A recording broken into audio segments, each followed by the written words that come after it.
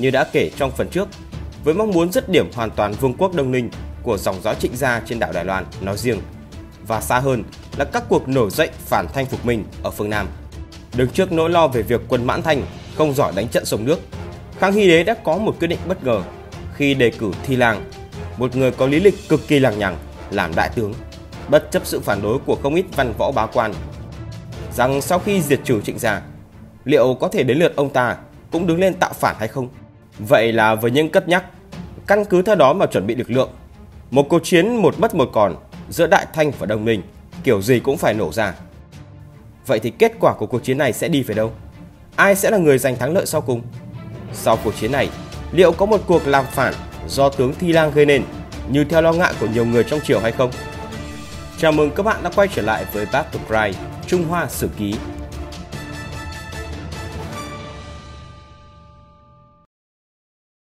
Hải chiến Bành Hồ Cuộc chiến kết thúc mọi cuộc chiến Trái ngược với nỗi lo trước đó, nhận được sự tin tưởng tới mức tuyệt đối, thì làng phần vì cảm tạ ơn sâu nặng của vị hoàng đế trẻ, phần vì muốn báo thù diệt tộc, đã thề sống thề chết, quyết dứt điểm đảo Đài Loan một lần và mãi mãi. Theo kế hoạch mà ông từng thảo ra trong các tấu sớ, muốn công hạ được Đài Loan, trước tiên phải chiếm được đảo Bành Hồ, bức tường phòng thủ phía bắc của đảo lớn.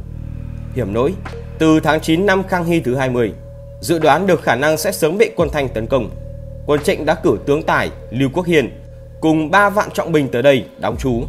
Rõ ràng, địa thế của hòn đảo này là vô cùng thuận lợi cho việc phòng ngự, khi có nhiều vùng vịnh để đội thuyền dễ dàng vào bờ trú ẩn, nhiều rào cản tự nhiên để bày binh. Không những vậy, dưới sự thiết kế của Lưu Quốc Hiền, quân Trịnh gia đã cho xây tường men theo ven bờ, sai người cắm trông nhọn trải dài hơn 20 dặm. Hòn đảo cứ vậy mà trở thành một chiếc hộp sắt kiên cố tới mức tưởng như Long Vương cũng khó mà có thể cho nước khoan thủng. Thế nhưng, đứng trước đối thủ khó nhằn, thì làng hoàn toàn không sợ hãi. Tại eo bờ biển bên kia, ông cũng ra sức thắt chặt việc đóng thuyền, luyện binh, xây dựng một đội thủy quân bình định, thuyền cứng, pháo lợi. Để khích lệ sĩ khí tướng lĩnh, anh dũng giết địch, thì làng đã viết tên của các tướng trên mỗi chiếc thuyền nhằm tạo thuận lợi cho công tác kiểm tra tình hình chiến đấu của mỗi thuyền. Đồng thời lấy đó làm căn cứ để ban thưởng hoặc xử phạt Trận giao đấu thứ nhất Ngày 14 tháng 6 năm 1683, hơn 2 vạn quân thành cùng hơn 200 chiến thuyền theo lệnh của tướng Thi Làng bắt đầu vượt biển. Ngụy trang giống như một ngọn núi nhỏ mà lư lư tiến sát Bành Hồ. Các đảo nhỏ dọc đường như đảo Hoa, đảo Miêu, đảo Thảo đều nhanh chóng thất thủ, bị ông dùng làm căn cứ hậu cần. Với đà thắng trận ở trên, dạng sáng ngày 16, gió biển đã thổi đưa chiến hạm lớn nhỏ dịch chuyển, tiếng chiêng trống vang trời dậy đất. Thì làng chỉ huy đội thủy quân bắt đầu tấn công đảo chính Bành Hồ. Trận đánh chưa gì đã bước vào hồi khốc liệt. Tuy quân Thanh ít hơn quân Trịnh, tới gần một vạn người, thì nhưng nhờ có nhiều tàu chiến hạng nặng so với quân Trịnh, nên ưu thế chiến đấu của hai bên vẫn có sự cân bằng nhất định. Đội tiên phong của Thi Làng do tướng Lam Lý dẫn đầu với 7 chiến thuyền đột nhập vào giữa đội hình quân Trịnh. Đang đánh hăng, biển bất ngờ xuất hiện thủy triều đội tiên phong bị dòng chảy xiết xông tới, làm tán loạn đội hình. Quân Trịnh trước thời điểm này phân thành hai cánh quân phản kích, vây bọc lại. Thấy tình thế bất lợi, Thi Lang đi lâu thuyền, tự mình nhảy vào lớp lớp vòng vây để cứu viện Lam lý, danh quyền chỉ đạo. Do dẫn đầu hạm đội nên lâu thuyền bị quân Trịnh nã tên như mưa. Một mũi tên đã bắn trúng mắt phải của vị lão tướng, rồi lại thêm bộ tướng Lam Lý bị một phát đạn khiến bụng ông bị một vết thương lớn tới mức xa cả ruột ra ngoài. Thế nhưng, với mối thủ sâu đậm, sau khi sơ cứu vết thương, thì lão tướng quân và Lam Lý vẫn tiếp tục hô lớn giết giặc, hào khí không hề nao núng. May được viện quân ứng cứu kịp thời, hai người mới có thể thoát hiểm. Đêm đó, thì lang cho quân dừng lại ở đảo Bát Cháo nghỉ ngơi, điều trị vết thương. Tổng binh Ngô Anh lên thay Thi Lang tiếp tục kiên trì đốc thúc quân sĩ tử chiến trong ngày 17. Sang tới ngày 18, không đợi vết thương kịp lành Thi Lang vẫn dùng áo giáp băng lấy đầu, triệu tập chư tướng, theo như luật tiến hành thưởng phạt. Ông ban thưởng lớn cho Lam Lý cùng đội quân tiếp viện, lại định đem các tướng lùi bước trong chiến đấu ra xử trảm. Thế nhưng khi thấy họ quỳ gối cầu xin tha mạng, tướng Thi Lang đã cho họ cơ hội lập công chuộc tội. Một lần nữa, Thi Lang lại bố trí kế hoạch tác chiến. Theo đó, ngoài việc họp lại với nhau để thay đổi lại chiến thuật, vốn đối đầu từ trực diện với quân Trịnh trên đảo Bành Hồ sang đánh các đảo nhỏ để có thêm nơi đóng trú quân. Và quan trọng nhất là phải có thêm nước ngọt để cho anh em binh sĩ bớt phần khô khát, biết được mình đang đứng dưới trướng của một vị tướng thương mình như con. Sĩ khí quân Thanh rất nhanh chóng đã được phục hồi. Bước sang ngày 18, quân Thanh rất nhanh chóng đã chiếm được hòn đảo nhỏ Hổ Tỉnh. Bằng kinh nghiệm của bản thân, trong ngày 19, cuối cùng thì tướng Thi Lang cũng đã tìm được thấy mạch nước ngọt trên đảo này. Mạch nước lập tức đã trở thành mạch sống giúp cho quân Thanh phục hồi được năng lượng để có thể củng cố lại đội hình, chuẩn bị cho đợt tấn công Bành Hồ tiếp theo. Trận giao đấu thứ hai Sau vài ngày củng cố lại đội hình, đến ngày 22 thì làng tiến hành thực hiện tuyên thệ trước khi xuất quân. Coi trận đánh này là trận quyết chiến cuối cùng với đảo Bành Hồ. Ông chia quân thành 8 đội xuất kích, mỗi đội 7 thuyền được trao quyền tự thống nhất và điều khiển. Ngoài ra, ông còn lưu lại hơn 80 chiến thuyền với tư cách là dự phòng chi viện nếu chẳng may đội hình đi trước của ông vỡ trận. Truyền thuyết kể rằng, trước khi xuất trình, trên biển bỗng nhiên xuất hiện cơn gió Tây Bắc lạnh thấu xương, phá vỡ kế hoạch ban đầu. Xuất quân bất lợi, các tướng sĩ đều nơm nớp lo sợ, tới nỗi tay chân run rẩy. Đúng lúc này thì làng hướng lên trời cầu xin, hy vọng thượng thiên thần minh cùng hoàng thượng phù hộ, trợ giúp quân ta thuận lợi khắc chế địch. Lời vừa dứt, do bất ngờ đổi hướng xoay ngược lại. Đại quân gặp thần tích mà càng vững tin chiến đấu. Rút kinh nghiệm từ trận đánh trước, lại căn cứ vào thực lực của quân đội hai bên. Lần giao đấu này thì làng đã sáng tạo và áp dụng trận đồ ngũ hòa mai. Theo đó, khi hai bên giao phong, từ mỗi tổ 7 thuyền, lập tức 5 chiến thuyền sẽ tách ra để kết thành đội riêng nhằm tấn công một thuyền của địch. Hai thuyền còn lại sẽ tùy tình hình mà thực hiện các nhiệm vụ như nã pháo, bắn tên yểm trợ, thay ca hay cứu nguy cho các thuyền đang gặp khó khăn. Bằng cách này, trận đánh có thể diễn ra 24 trên 24 mà không bị ngắt quãng. Với sách lược đề ra, cuộc chiến lần thứ hai này đã diễn ra không ngừng nghỉ từ sáng sớm đến tận xế trưa, khiến nước biển bị máu loang đỏ, nhuộm thấm. Dù bị thiệt hại vô cùng nặng nề khi một khoảng 1 phần tư binh sĩ thiệt mạng, nhưng cuối cùng cánh quân Thanh tiên phong do đích thần tướng Thi Lang chỉ huy đã giành được đại thắng. Phóng lửa đốt cháy hàng trăm chiến thuyền, khiến cho hơn một vạn binh sĩ quân Trịnh phải bỏ mạng dưới nước. Thừa thắng, Thi Lang cho quân đổ bộ lên đảo. Phía đông, tiến đánh đèo Kề Lộng, núi Tứ Giác. Phía tây, tiến đánh vịnh Ngưu Tâm nhằm phân tán lực lượng quân Trịnh. Phía sau, đoàn 80 chiếc chiến thuyền vốn làm nhiệm vụ cứu viện cũng nhận lệnh thừa thắng dương buồm sông tới, hòa cùng với đoàn quân tiên phong đang đổ quân lên đảo. Quân Trịnh tới khi này đã không thể chống cự nổi, vỡ trận tàn hoàng. Hai tổng binh của Trịnh gia là Lâm Hiền và Chu Thiên Quý, đích thân đưa quân đi tiên phòng, thế nhưng cũng không thể nào xoay chuyển nổi tình hình. Chu Thiên Quý tử trận, Lâm Hiền thì bị trọng thương. Chỉ huy trưởng của quân Trịnh là Lưu Quốc Hiền thấy tình thế thất bại, liền lên thuyền nhỏ tháo chạy về Đài Loan. Toàn bộ số binh sĩ Trịnh gia còn lại, phần vì không còn chủ tướng, phần vì cũng đã cạn kiệt sức lực, nên cũng đã đành phải buông vũ khí đầu hàng. Trận Hà Chiến Bành Hổ kết thúc với đại thắng sau cùng thuộc về quân Thanh. Đài Loan trở về với đại lục. Về phần đảo Đài Loan, sau khi Lưu Quốc Hiên liều chết trở về báo tin thảm bại, cả triều đình Đông Ninh lập tức dung chuyển dữ dội. Nhận thấy lực lượng còn lại khó có thể chống cự nổi, võ tướng Phùng Tích Phạm, người thực sự nắm mọi quyền hành của Đông Ninh, đành ngậm ngùi khuyên thiếu chủ Trịnh Khắc Sảng cử sứ giả tới chỗ chủ đóng quân thanh của Thi Làng đề nghị xin hàng. Điều bất ngờ là dù mang trên mình mối huyết hại thâm thù sâu nặng, nhưng Thi Làng vẫn ra quyết định hoãn bình, dâng sớ xin ý kiến của hoàng đế.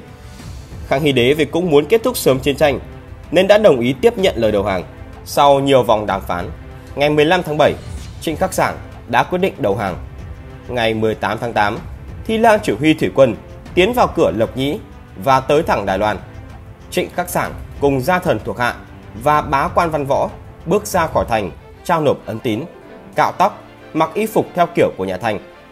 Chính quyền Đông Ninh cáo chung, sau 22 năm thống trị Đài Loan, hòn đảo này đã trở về với đại lục dưới sự cai trị của nhà Thanh. Sau thắng lợi này, triều đình nhà Thanh có ý kiến cho rằng Đài Loan có eo biển ngăn cách, nếu chiếm đóng sẽ gặp nhiều khó khăn trong đồn trú và tiếp tế.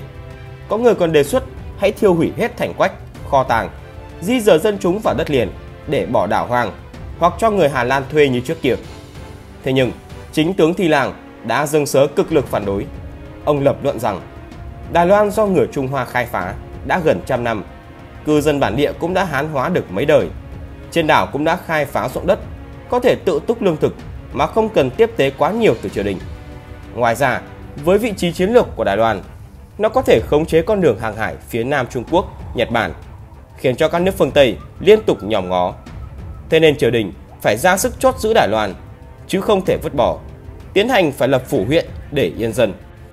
Đứng trước thế khó, do bản thân văn hóa dân tộc mãn vẫn chưa hiểu nhiều về vấn đề biển đảo, Khang Hy đã buộc phải cho họp triều đình để bàn luận. Đại học sĩ Lý ý dâng sớ nên thực hiện theo đúng thỉnh cầu của Thi Làng. Tiếp đó, đến phần lớn văn võ báo quan cũng dâng sớ xin chấp nhận kiến nghị của Thi Làng. Khang Hy cuối cùng cũng hạ chiếu y theo kiến nghị của Thi Làng. Lấy cớ rằng người Hà Lan bất tài nên mới để cho họ Trịnh chiếm đảo mà quyết định cắt cử quan lại, điều quân và dân tới sống tại đảo. Nhà Thanh ban đầu cai trị Đài Loan như một phần của tỉnh Phúc Kiến. Tới năm 1885, Đài Loan bắt đầu được tách ra thành một tỉnh riêng biệt. Và đến năm 1887 thì công việc này hoàn thành. Quan trọng hơn hết, đó là sau đại chiến Bành Hồ, diệt nhà Đông Ninh, Đài Loan từ đó đã trở thành một bộ phận không thể tách rời của Trung Quốc, kể cả về mặt địa lý lẫn trọng tâm thức kể từ đó cho tới nay. Dù vậy thì việc cai trị của nhà Thanh với hòn đảo này vẫn chưa bao giờ suôn sẻ. Địa lý cách trở khiến nhiều nhóm phản thanh phục mình vẫn có thể ẩn náu thoát khỏi sự truy đuổi của quan binh. Lại thêm trên đảo, vốn đã có một cộng đồng các dân tộc bản địa vẫn luôn căm thù việc người Hán di cư mà tranh giành đất của họ, lãnh thổ hay sản vật. Bởi vậy, ứng với biệt danh tam niên nhất phản, ngũ niên nhất loạn. Đài Loan đã trở thành một trong những vùng đất bất ổn nhất của nhà Thanh khi tổng cộng có hơn 100 cuộc nổi dậy chống triều đình đã nổ ra trên hòn đảo này trong suốt chiều dài lịch sử. Thậm chí có những cuộc có quy mô cực kỳ lớn như của Chu Nhất Quý, Lâm Sảng Văn.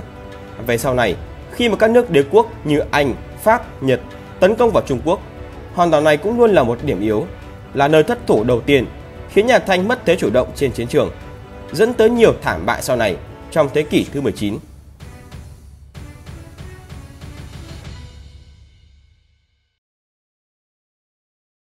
Cặp vua tôi hiền tài hiếm có của lịch sử Trung Hoa Chiến công thu phục đảo Đài Loan đã thêm một lần nữa chứng tỏ tài nhìn người và quản trị con người vô cùng tuyệt vời của Khang Hy. Bất chấp những dị nghị và phản đối, ông vẫn sẵn sàng đề cử một người có lý lịch đáng ngờ là Thi Lang để thu hồi hòn đảo này. Kết quả thu về chính là thành quả xứng đáng cho những niềm tin và tài năng của ông đối với vận mệnh của Thanh Triều. Triều đại phong kiến ngoại tộc trong lịch sử Trung Hoa. Nhờ có chiến công này, hầu như phương Nam đã sạch bóng nỗi lo tạo phản.